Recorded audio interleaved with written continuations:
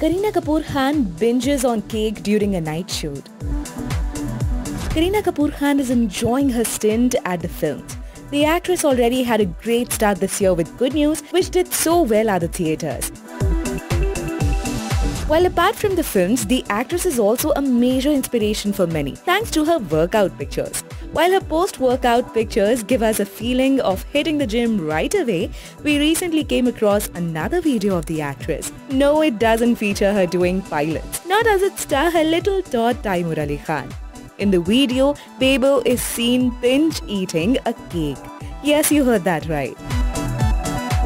The video is shared by one of her team members and going by the looks of it, that looks absolutely delicious.